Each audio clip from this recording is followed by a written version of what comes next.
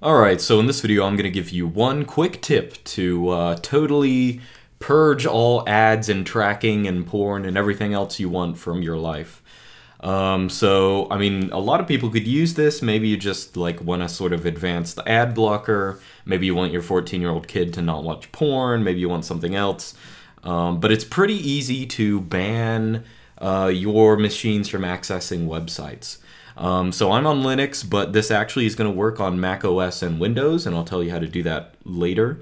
Um, but what, what I'm going to do now is uh, I'm just going to become a uh, root user. Um, now, in case you don't know, there's a little file on Linux, which of course has an equivalent in Windows and stuff.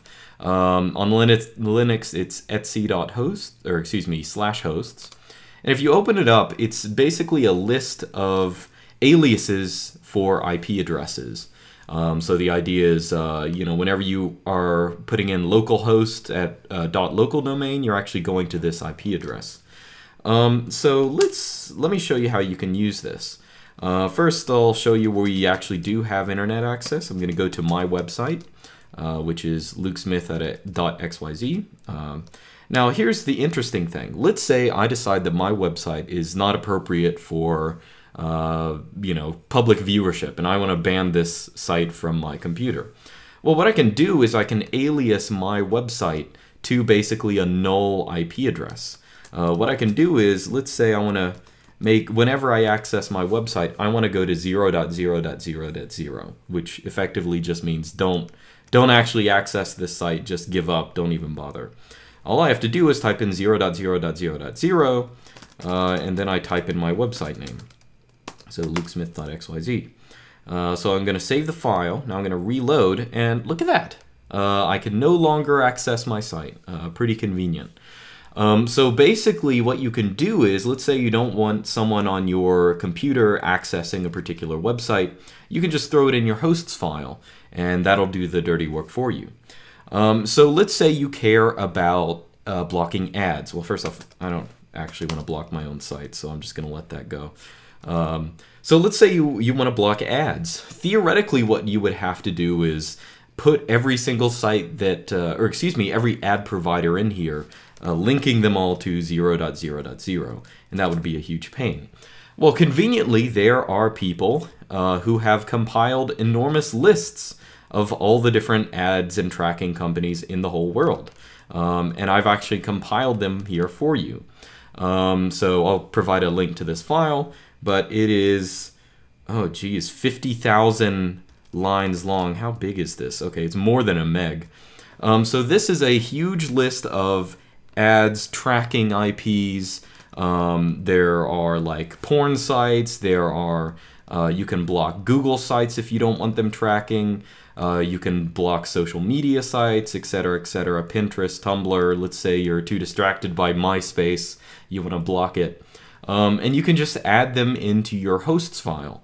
Um, so I'm going to provide a link to this, and basically what you do, let's say I want to actually add these. Um, let me go into the right folder. Um, so here's the file IPS, that's the file we just talked about. So of course to add these on Linux, what you just do is um, make sure you're the root, root user.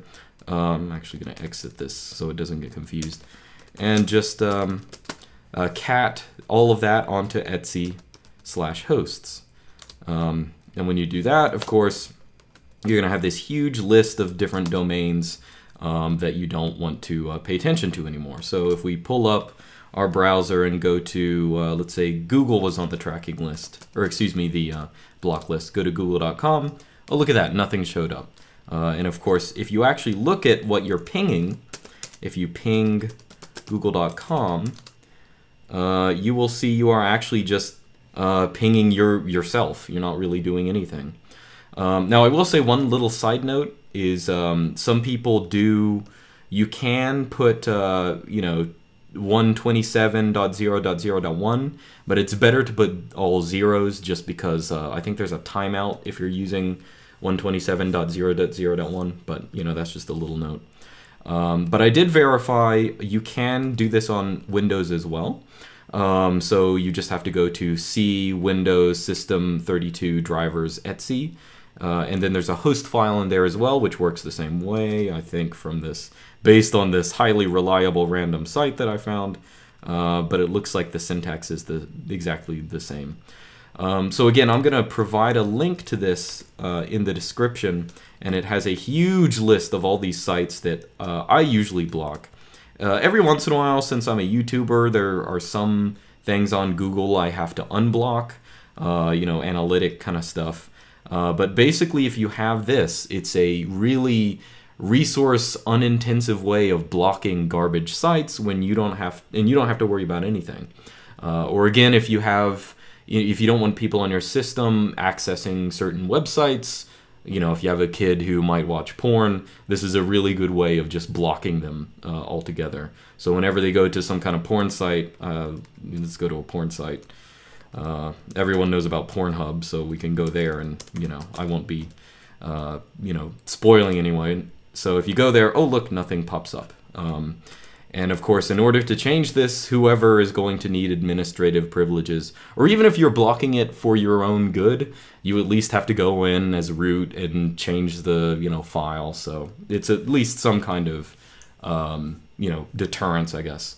But anyway, link in the description, and thanks to the numerous subscribers that actually recommended this to me, um, because I I never knew that you could I, I guess I sort of thought in the back of my mind you could do this, but it never really hit me until a couple people recommended it to me. Um, so thanks all of you, you know who you are, uh, who did do this. So anyway, well, thanks for watching. Uh, hope this is useful. See you next time.